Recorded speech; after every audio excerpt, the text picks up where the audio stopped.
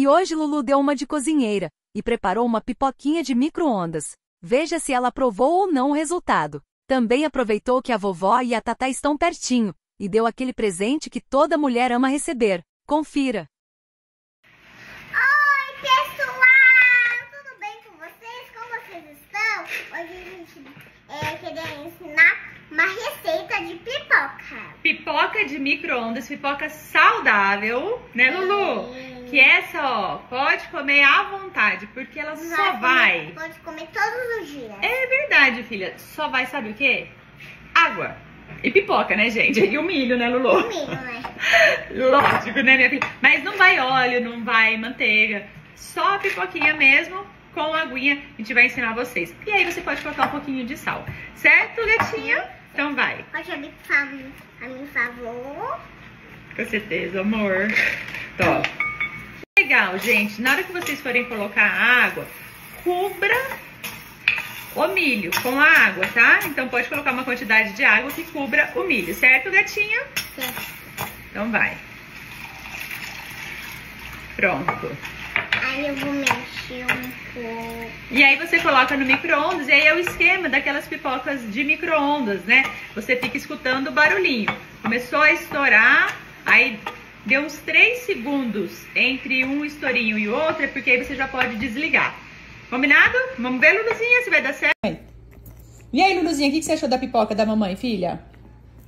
Muito gostosa. Só não ficou perfeita porque tá uns pouco de queimado. Tem um queimadinho, né? Eu passei um segundinho do ponto, aí ficou um pouquinho mais queimadinha. Mas foi boa, não ficou não? É, uhum. Agora, Luluzinha, perguntinha que não quer calar, minha filha. Qual é a pipoca mais gostosa, da mamãe ou do papai? Do papai. a do papai é melhor ainda, né, amor?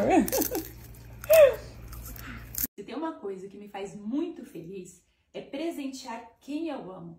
Pra mim é uma demonstração muito grande de carinho. E a gente pode fazer isso todos os dias, né? Então, é o seguinte.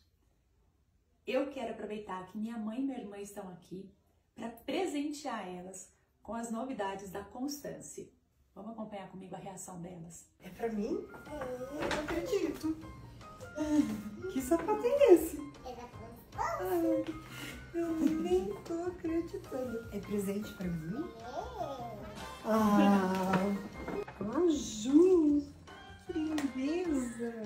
Eu sei que a vovó ama Constância. A vovó ama, né? Mamãe, Ah. vamos agora dar um presente pra Tatá? Vamos! Que é isso? Presente.